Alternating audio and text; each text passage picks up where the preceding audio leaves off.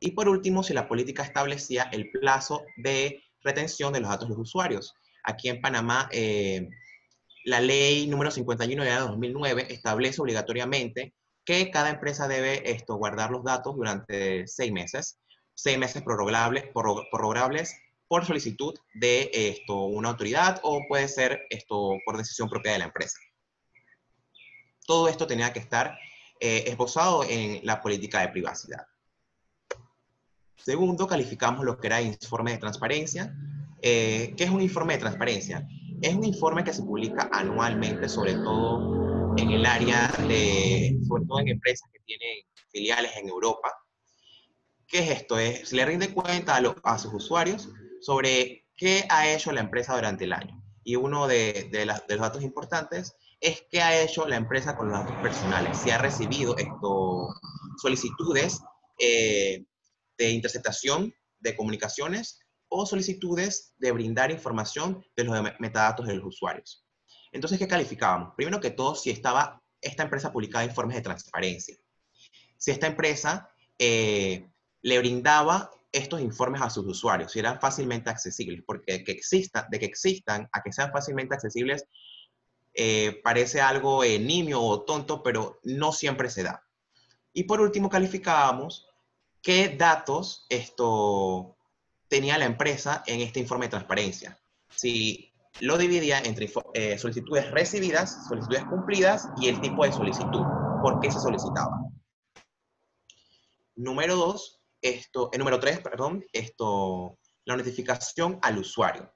Queríamos saber si por medio del contrato que se firma al momento de, de suscribir el, el acuerdo entre la empresa y el usuario, si la empresa se comprometía a notificar esto al usuario sobre la información solicitada en el primer momento permitido por la ley. ¿Y qué significa esto? En otros países de América Latina, es, de nuestro conocimiento que la misma ley prohíbe que la empresa le comunique al usuario, que la empresa le comunique al usuario si está siendo interceptada, si está siendo interceptada o si está siendo esto objeto de investigación. Por otra, por otra parte, si la empresa incidía en políticas públicas sobre la necesidad de una notificación a priori para que el usuario pueda ejercer su derecho a un remedio efectivo. ¿Esto qué quiere decir? Está aplicado a aquellos países que el usuario no tiene ese derecho porque la ley expresamente obliga a la empresa a mantener el secreto eh, del sumario.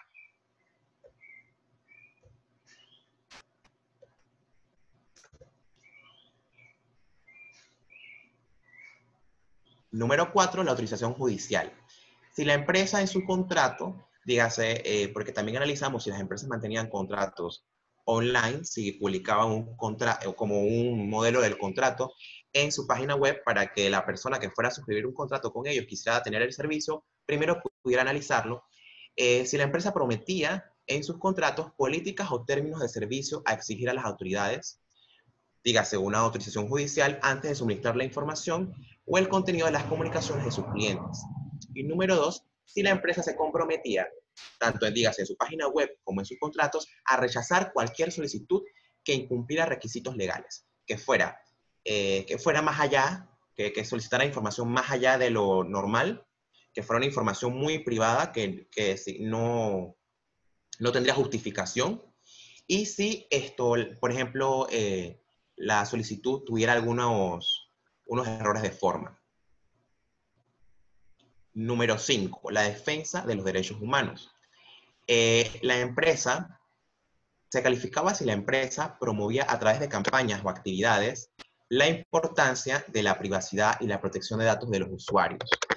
Esto, eh, para calificar este, este, este criterio y los parámetros subsiguientes, calificábamos, nos íbamos mucho a lo que eran redes sociales para poder así comprender, eh, porque muchas veces las empresas en su página web no publican lo que hacen en responsabilidad social empresarial, en su página de prensa, no publican todas las campañas que realizan. Por lo tanto, en estos tres, para, estos tres parámetros que se calificaban, se analizaba si la empresa esto lo mantenía esto en sus redes sociales, eh, nos fuimos a lo que es Twitter, Instagram, todo lo que era un, un año de la, desde, el, la desde el día que se estaba haciendo la investigación, un año hacia atrás. Y también eh, verificábamos que mantuvieran la información en sus páginas web, si había una sala de prensa o una sección de responsabilidad social empresarial o derechos humanos. ¿Qué, qué, qué comprobábamos aquí? Si la empresa promovía a través de campañas o actividades la importancia de la privacidad y protección de datos de sus usuarios. Eh, ¿Por qué nos importaba tanto este parámetro? Que eh, a simple vista puede ser que es uno de los menos técnicos o menos legales.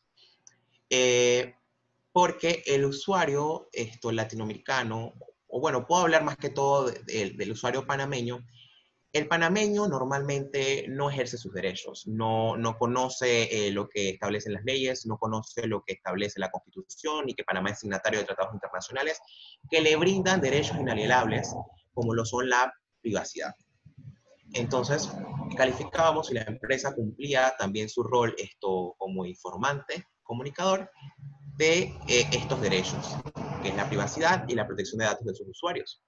También calificábamos si la empresa promovía iniciativas de ley en el Congreso o la Asamblea Nacional, el órgano legislativo de cada país, litigio estratégico, si la empresa al recibir esto una una solicitud esto, excesiva, se iba a los tribunales con sus propios medios para que esto, para que esto cambiase escrito en la ley.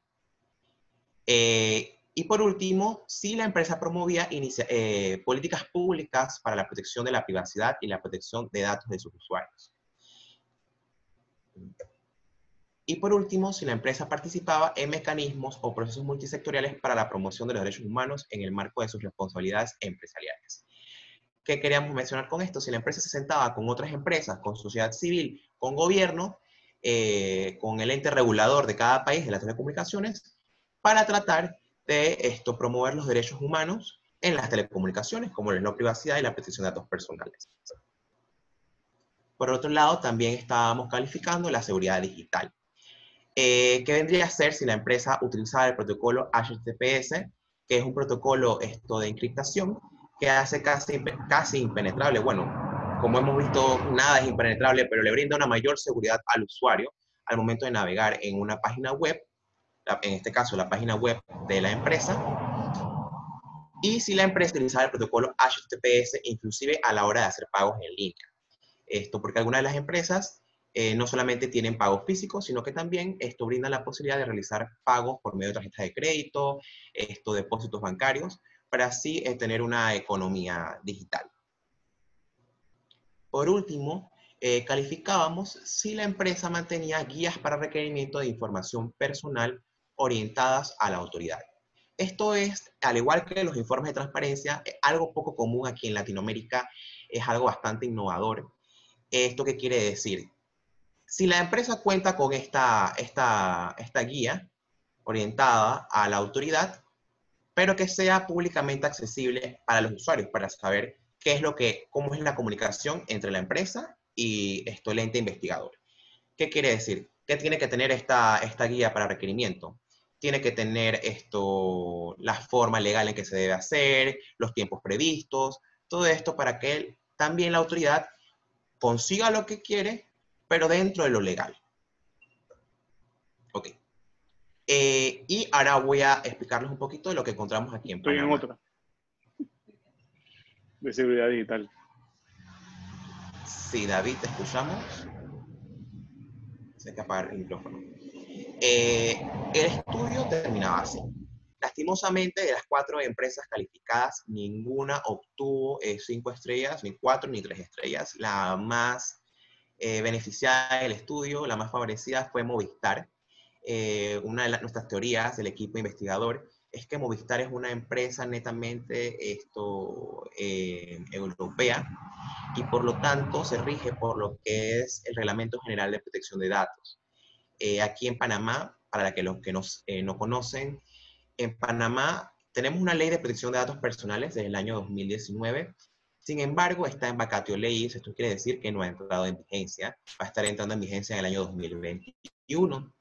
Eh, por lo tanto, los datos personales en Panamá no tienen, por así decir, un marco común, un marco eh, como una, algo, eh, un marco regulador de los datos personales en Panamá. Por lo tanto, las empresas aquí en Panamá van más que todo eh, por lo que hacen en otros países o por las innovaciones que pueden eh, emitir aquí en Panamá. Movistar fue la empresa con mayor calificación, dos estrellas y media, seguida de Digicel con una estrella y media, y por último tuvimos a Claro y Más Este estudio, cómo obteníamos eh, toda la información. No solamente nos íbamos, como les mencioné, a los contratos físicos, contratos eh, digitales, páginas web de, de las empresas, sino que también enviamos cartas y comunicaciones escritas y también por correo electrónico a todas las empresas, los abogados encargados de la parte legal y algunos estos directores generales para que así transmitieran a sus departamentos encargados de comunicación estratégica o legal para poder obtener información. Eh, porque lo que se buscaba era que a pesar de que no estuviera en línea, se pudiera calificar para que el próximo año esto, las empresas mejorasen en cada uno de los parámetros y criterios calificados. Entonces, en cuanto a política de protección de datos, vamos a ir esto viendo, eh, vamos a ir bajando en cuanto a la política de protección de datos, eh, nos llamó mucho la atención que solamente Digicel mantenía esto en, su página web una política de protección de datos. ¿Por qué solamente Digicel? Lo que sucede es que puede ser que la empresa eh, tuviese primero que todo una política de privacidad y no es lo mismo la política de privacidad que la política de protección de datos personales. Eh, igualmente, estábamos calificando si era eh, accesible. Encontramos, por ejemplo, en varias compañías que, vamos, era muy difícil encontrarlo. Si lo encontrabas, por ejemplo, una que era de capital británico, nos enviaba a su filial, a, su, empresa matriz en, Gran Bretaña y estaba completamente en inglés, lo que hacía totalmente difícil para el usuario poder comprender sus derechos. Por otro lado, teníamos algunas que ni siquiera mantenían en su sitio web una esto, política de privacidad. Algo positivo del estudio es que cuando nos comunicamos con las empresas, eh, una de ellas, eh, bueno, solamente dos empresas respondieron que, que fueron Movistar y Claro, y una de estas dos se acercó y dijo que esto, su política de privacidad del hipervínculo estaba dañado porque estaban actualizándola a la ley esto, europea y también haciendo algunas adecuaciones para ir en vanguardia a la ley panameña de protección de datos personales. Sin embargo, al momento de hacer la publicación del estudio todavía no habían podido esto, finiquitar alguna, algunos términos legales, algunas formas, por lo que no fueron calificadas. Seguido de lo que es el informe de transparencia. Solamente esto, perdón, Solamente una de las empresas esto tiene la costumbre de tener un informe de transparencia, que es Movistar. Este informe de transparencia no recibió la estrella completa porque lastimosamente la empresa lo que hace es que no lo mantiene en su sitio web panameño. El usuario tendría que irse de, eh, ingresar por cualquier buscador, dígase Google, eh, Safari, y poner informe de transparencia Movistar para entonces poder accesar al informe de transparencia esto de, Movistar Internacional, donde tiene un apartado que habla acerca de Panamá, donde esto divide entre solicitudes recibidas, solicitudes negadas, eh, y lo divide entre interceptación de telecomunicaciones y solicitud de acceso a metadatos, eh, seguido de la notificación al usuario. ¿Qué sucedió aquí? Ninguna, como pueden ver, ninguna recibió eh, calificación. Porque muchas de ellas nos decían que a pesar de que no hay una ley expresa que les, les prohíba esto, comunicarle al usuario que está siendo interceptado, por costumbre no lo hacen. Eh, dígase por no buscarse problemas con, con la autoridad, eh, mantener más una, una, relación más cordial sin embargo, si la ley esto no lo, no lo prohíbe, es algo que se puede esto realizar. Sin embargo, eh, ninguna de las empresas lo hacía. Eh, importante que para esto, ver este parámetro se tomaba en cuenta en la jurisprudencia de la Corte Interamericana de Derechos Humanos el caso Escher y otros versus Brasil, que es un caso, así es, en síntesis, es un caso que se llevado por la Corte Interamericana de ciudadanos brasileños que tuvieron sus comunicaciones interceptadas, era un sindicato de agricultores, y la policía militar de un estado interceptaron sus comunicaciones e inclusive eh, las publicaron en un, un, noticiero local. Y nunca eh, las personas perdieron, por así decir, su derecho a una defensa justa porque no sabían eh, que estaban siendo objeto de una investigación. Aquí muchas de las empresas, bueno, algunas de las empresas eh, nada más fueron cuatro y dos fueron las que se comunicaron con nosotros, algunas de las empresas nos mencionaron de que eh, no sería factible comunicarle al usuario que está siendo objeto de una investigación por el secreto sumario. Sin embargo, esta jurisprudencia nos demuestra de que si la autoridad, esto, eh, si el ente investigador, investigador, Ministerio Público, Procuraduría General, tiene sospechas de que la persona está ah, eh, cometiendo una actividad, eh, eh, una actividad delictiva, puede hacer esto, la interceptación o recabar los, los, metadatos anteriores a la solicitud. Igualmente, la autorización judicial, si esta autorización judicial está debidamente motivada, si fue dirigida, si fue dirigida a, una autoridad judicial antes de a la misma empresa, porque se daba mucho de que el Ministerio Público, sus fiscales, se dirigían directamente a la empresa y la empresa, para mantener una cordial esto, relación con este ente investigador, prefería esto darles la, la información sin que esto pasase por un juez de garantías. Por otro lado, eh, vemos eh, lo que es la defensa de derechos humanos. Aquí sí conseguimos esto, una mejor calificación de todas las empresas, ya que la gran mayoría, eh, tres de ellas, sí mostraban esto en sus redes sociales campañas eh, enfocadas a lo que es los derechos humanos. Tenían esto apartado de prensa, hablando acerca de derechos humanos, pero había un problema. Los derechos humanos no estaban enfocados en la privacidad y la protección de datos personales. Más que todo, eh, vimos a una de ellas que estaba más que todo enfocada a lo que eran los objetos o los objetivos de desarrollo sostenible. Otra estaba enfocada a la nutrición infantil, pero de todas formas se calificaba porque estaba enfocada a lo que era derechos humanos. Por otro lado, la seguridad digital. Todas las empresas tenían seguridad digital, eh, protocolo HTTPS en su sitio web sin embargo, una de ellas, que bueno, por lo que pueden ver en, la infografía, era claro, una de ellas sí no mantenía lo que es eh, el protocolo a la hora de realizar el pago. Por último, esto, las guías para requerimiento de información personal orientadas a la autoridad. Solamente esto, solamente eh, Movistar, que es la empresa de capital europeo, era la que mantenía una guía para requerimiento de información personal orientada a la autoridad. Ninguna de las otras esto mantiene esto una diferencia, mantiene este documento eh, eh, no existe, primero que todo, eh, no respondieron a nuestra solicitud, y por último, esto no es, no es el usuario no, no puede conocer de ella si es que existe, porque no está publicada en ningún sitio web.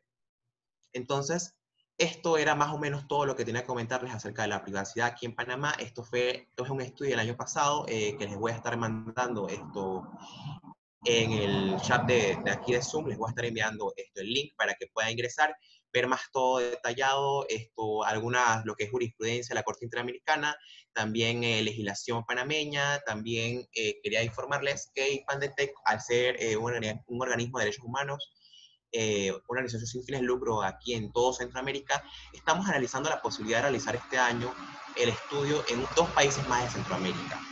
Eh, y nos gusta mucho esto, contar con todos ustedes. Eh, la mañana de hoy, muchos, sé que muchos son de, de los entes rectores de telecomunicaciones, puede ser que algunos otros sean de sociedad civil, otros de empresa, y esto, nos gusta tener esta conversación con ustedes la mañana de hoy porque esperamos que entre, en una forma multisectorial podamos beneficiar a los usuarios con mayor privacidad y una mayor eh, protección de datos personales.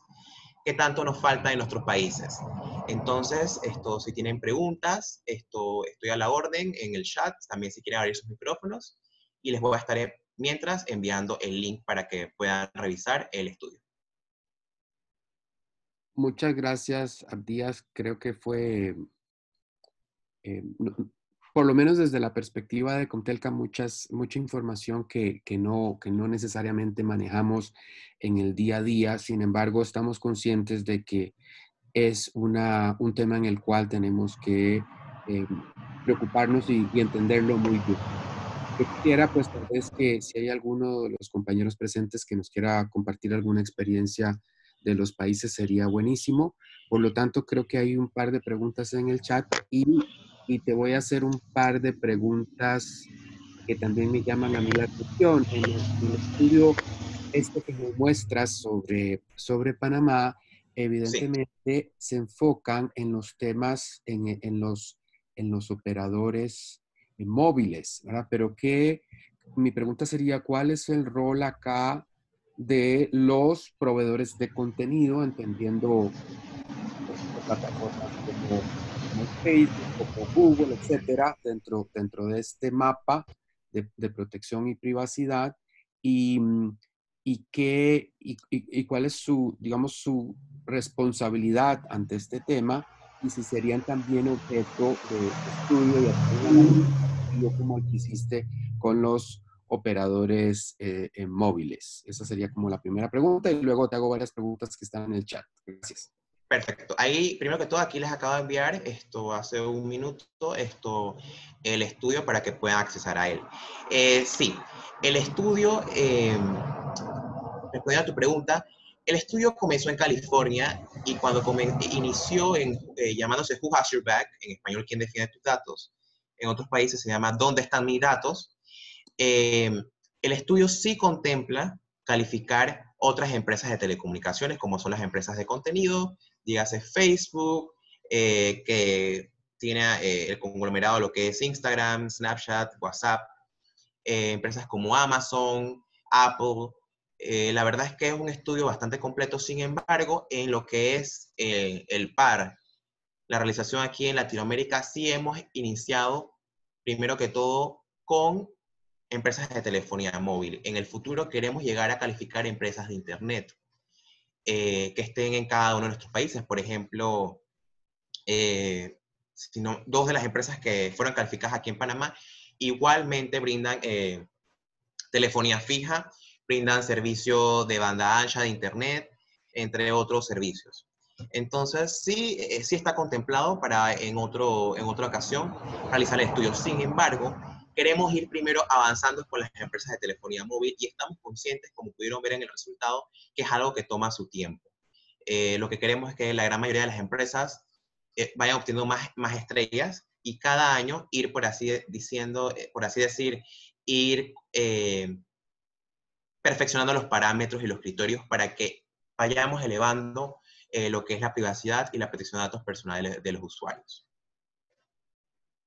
Gracias. Tenemos una pregunta de Anabel eh, Ley que pregunta cuál es la diferencia entre privacidad y protección de datos. Sí, estaba leyendo, estaba leyendo esa pregunta porque me pareció bastante interesante. Eh, primero que todo, aquí.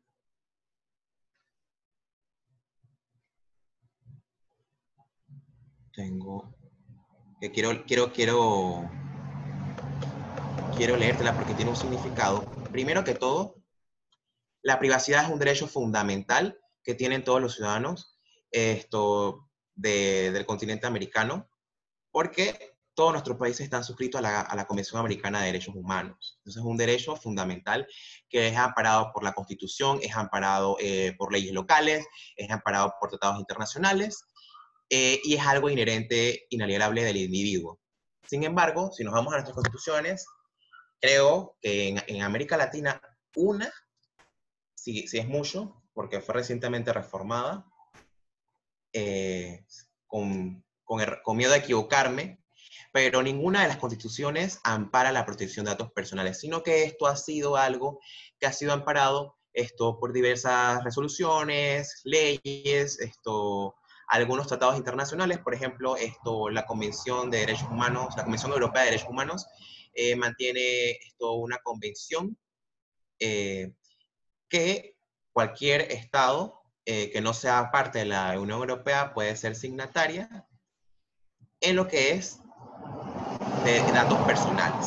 Entonces, los datos personales es la forma como la información es protegida en entornos físicos o digitales. Ahí vendría a ser esto la diferencia, que radica entonces básicamente en, en, qué está, en qué, cómo es amparada y sus significados. No sé si... ¿Quién me hace la pregunta? Eh, Amparo.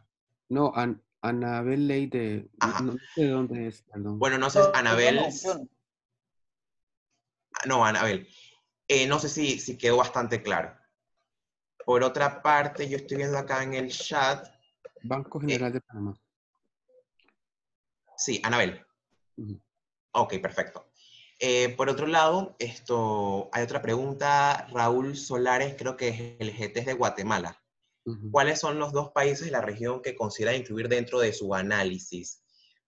Bueno, la verdad es una información que todavía no queremos revelar porque lo que queremos es que eh, mantener la expectativa y de que estos países se pongan, todos, todo Centroamérica se ponga las pilas en mejorar esto, la privacidad y la protección de datos personales que le dan a sus usuarios. Pero esto está, bueno, lastimosamente con esto, esta situación a nivel internacional como es la pandemia, eh, eh, ya iniciamos en uno de los países, el otro país, esto sí se nos ha retrasado un poquito la realización de la investigación, pero bueno, ahora como estamos en cuarentena en nuestros hogares, vamos a, intentar de meterle lo más que podamos para eh, sacar la investigación adelante. Eh, pero claramente ustedes van a ser eh, uno de los invitados para que puedan estar pendientes a la información. Esperamos entonces nosotros esto, viajar de acá, de acá de Panamá a cada uno de los países, invitar tanto a las empresas como a los usuarios, sociedad civil e inclusive al ente regulador para que puedan esto conocer de la calificación y cómo ha sido calificado su país y sus empresas. Amparo está pidiendo la palabra. Adelante, Amparo.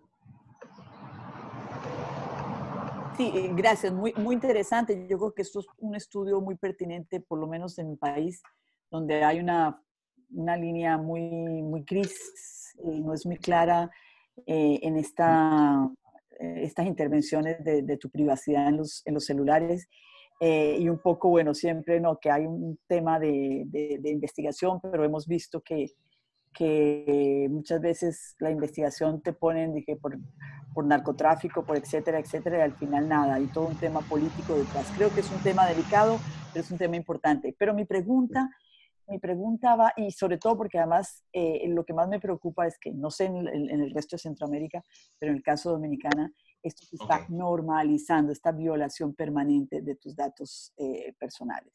Hay, hay una, una, tendencia a la normalización que me parece gravísima. Entonces, mi pregunta sí es, ¿cómo recibieron las empresas eh, este, este, este, este informe, estos resultados? ¿Ha habido alguna, alguna conversación? ¿Hay un feedback? ¿Hay, o sea, ¿Cuál sería el futuro a partir de este informe? es muy buena tu pregunta, Amparo, porque era una información que, que debí mencionar. Eh, el informe lo que busca es que las empresas mejoren. No buscamos esto, eh, causar un desprestigio en la empresa por ser la que menos esto protege la privacidad del usuario. Lo que buscamos es que la empresa esto mejore. Junto con nosotros como sociedad civil que representamos esto a los usuarios. Eh, y por, por ponerte un ejemplo, yo me estuve comunicando esto con las cuatro empresas eh, porque tenían, por así decir, un derecho a réplica por la aplicación que íbamos a estar haciendo y solamente dos empresas se acercaron a nosotros. Eh, en el momento fue algo desalentador porque yo sí esperaba que las cuatro estuviesen interesadas, sin embargo solamente dos de ellas. Esto al parecer pasa en todos los países y el primer año que se realiza el estudio siempre las empresas obtienen una calificación menor al 2.5 estrellas.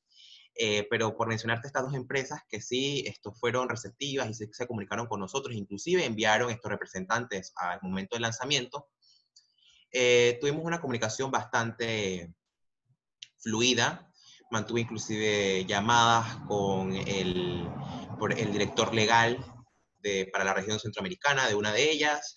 Eh, una de ellas también quería, eh, antes del cierre, por así decirlo, tener al día todo, sin embargo no, no podíamos esperarnos más.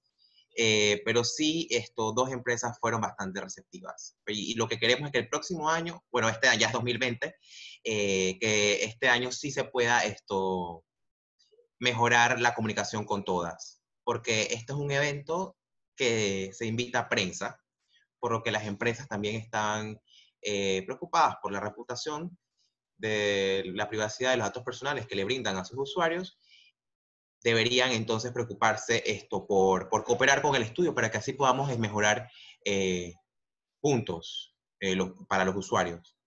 veo acá una pregunta sobre si se puede proceder legalmente contra una empresa que no proteja mis datos. Existen instrumentos legales vigentes para ello. Estos eh, de David de la CEP, no sé si a CEP de acá de Panamá.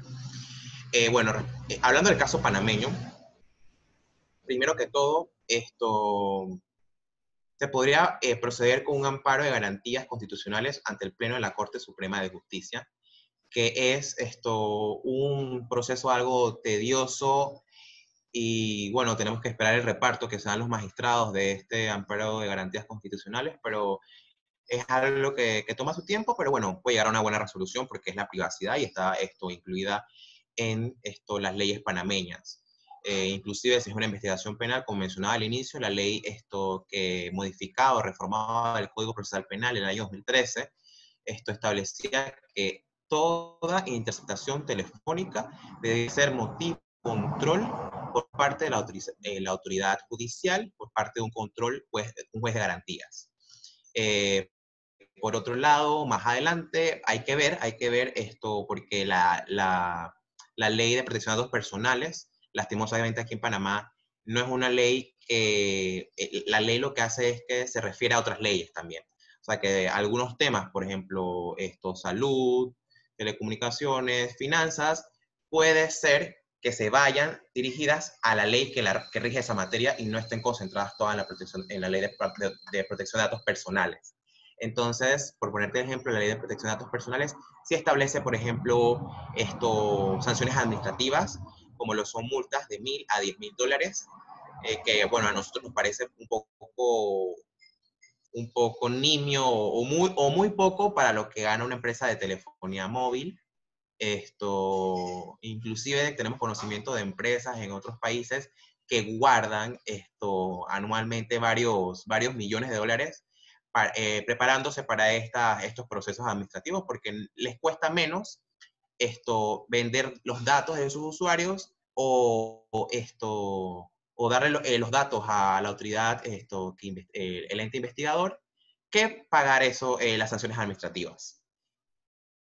Hay que ver cómo va a ser reglamentada la ley. Actualmente la ANTAI, que es el organismo que va a regir la materia de datos personales aquí en Panamá, esto está haciendo la, la reglamentación por medio de una consulta esto, pública. Veo que otra pregunta. David Sean dice que tienes conocimiento de alguna reglamentación en curso para la ley de protección de datos que entrará en vigencia a partir de marzo de 2021 o la ley aprobada en el 2019 es suficiente y clara. Esto, bueno, David, respondiendo a eso, esto, la ley que está esperando reglamentación, eh, ANTAI, recientemente, eh, lo que es la Asamblea Nacional de Diputados acá en Panamá, eh, admitió dos nuevas iniciativas legislativas para reformar ANTAI. Eh, estuvimos ahí en, en, la Asamblea Nacional y esto es de conocimiento público también de que la ANTAI tiene abierto un proceso por medio de un correo electrónico que tú puedes enviar estos comentarios a, esto, a la ley para la reglamentación, eh, que te lo podría pasar esto más adelante. Eh, la ley está esperando su reglamentación y no, la ley esto aprobada en 2019 no es lo suficientemente clara faltan algunas cositas por esto dejar en claro y bueno, si, si responde a tu pregunta. Gracias, Abdías. Yo les compartí la, la ley número 8968 de Costa Rica que habla sobre la protección de la persona frente al tratamiento de sus datos personales, por si a alguno le interesa como referencia. Y quería hacerte eh, otra consulta. Cuando en tu presentación mencionaste la ley europea, entiendo que la ley europea tiene cierto, cierto grado de, de, vinculancia para los ciudadanos que viven en este lado del, sí. Eh, los ciudadanos europeos que viven en nuestros países y cómo Tal vez nos podrías explicar un poquito eso y, cómo, cómo como países tendríamos que reaccionar ante esta situación. Gracias. La verdad es que eh, el Reglamento General de Protección de Datos eh, Personales, o el GDPR por sus siglas en inglés, esto es un instrumento esto común usado en la Unión Europea para lo que es los datos personales. Y esto, ¿por qué es vinculante a nuestros países? Porque este reglamento establece lo que es la extraterritorialidad, una palabrita bastante complicada, pero en práctica no es tan complicado. Esto quiere decir que eh, a donde esté una persona con nacionalidad, ciudadanía europea, debe estar protegida por esta ley. Quiere decir, por ejemplo, que si una empresa de telefonía móvil con 100% capital estoamericano tiene un mal manejo de los datos personales, de la información, dígase, del ciudadano esto, europeo, puede ser esto objeto de multas. Y el Reglamento General Europeo sí tiene unas multas que son mucho más elevadas. Eh, si no mal recuerdo, esto eh, eh, llega hasta cierto porcentaje de multa, o si no, es, es el 4% de ganancia de la empresa, porque también este reglamento eh, piensa en lo que es eh, las pequeñas empresas y todo esto. Sin embargo, y, voy a ir entonces a lo que es la ley nicaragüense, la ley costarricense y la ley panameña, que son los únicos tres países de Centroamérica que tienen una ley de protección de datos personales, ninguna de las tres, esto lastimosamente, estipula lo que es la extraterritorialidad. Eh, para que, por ejemplo, los datos de un costarricense en Europa sean protegidos por la ley eh, costarricense o, y viceversa en, Panamá, lo que le podría pasar a un ciudadano panameño o un ciudadano esto, nicaragüense. Esto es porque, primero que todo, la ley esto, costarricense es de a inicios de los 2000, su ente regulador es el, es el y esto, la ley esto, nicaragüense es, si no mal recuerdo, del año 2013 por ahí. Sí, y estoy viendo acá, Anabel. Eh, en efecto, la ley panameña de protección de datos personales eh, ya está, eh, ya está publicada en Gaceta Oficial. Sin embargo, no está vigencia, en vigencia porque tiene un vacatio legis, tiene dos años para que en estos dos años pudiéramos corregir algunas cosas o pudiéramos reglamentarla.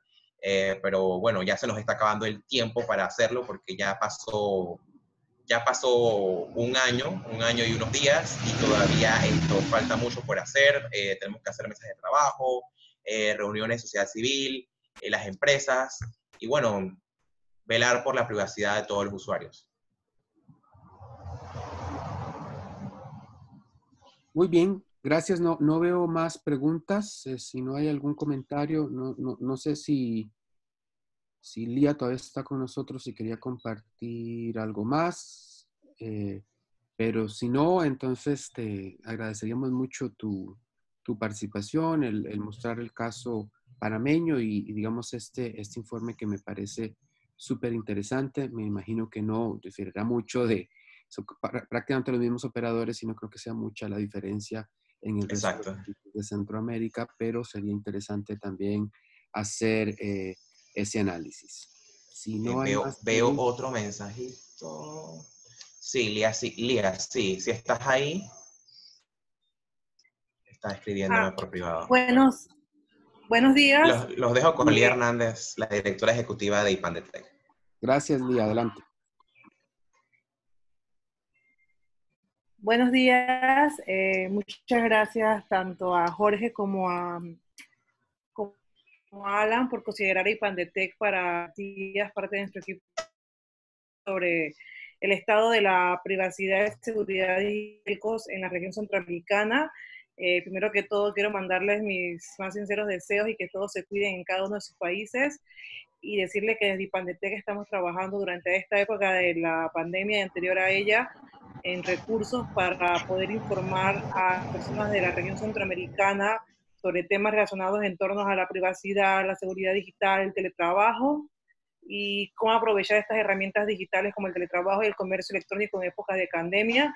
Igualmente ponernos a la disposición de aquellos representantes del gobierno que se encuentren conectados en esta llamada o a quienes les pueda llegar el mensaje de que estamos dispuestos a poder trabajar en conjunto en hacer algún otro tipo de informe relacionado con la situación eh, de las políticas públicas de Internet, las telcos en la región. De hecho, tenemos ya conversado con Alan la posibilidad de hacer una especie de mapeo sobre la situación de las telecomunicaciones en Centroamérica, un documento que IPANDETEC ya ha levantado y que posiblemente agreguemos a los últimos países miembros que se han adherido a COPTELCA, como es el caso de México, Colombia y República Dominicana, que no estaban contemplados en nuestro estudio inicial.